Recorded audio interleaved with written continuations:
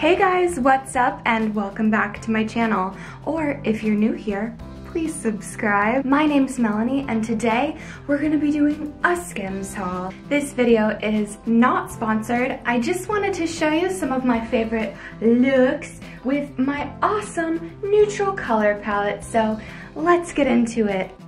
My first outfit is from the Fits Everybody collection in the color Oxide. I love this smoothing fabric and the cut of the outfit is very complimentary.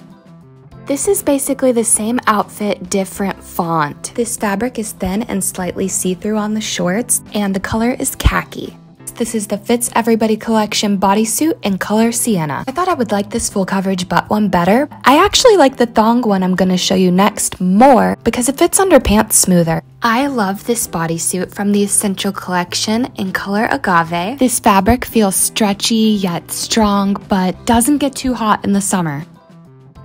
This is the sculpting bralette, which I'm wearing underneath every outfit in this haul. The separating middle part keeps your clothes from getting that flat-chested sports bra look. The stretch cotton jersey in color bone is a flattering twist to an everyday basic you can wear with every outfit. Cotton plunge bralette and cotton rib boxers in color onyx. Pretty basic, but very comfortable.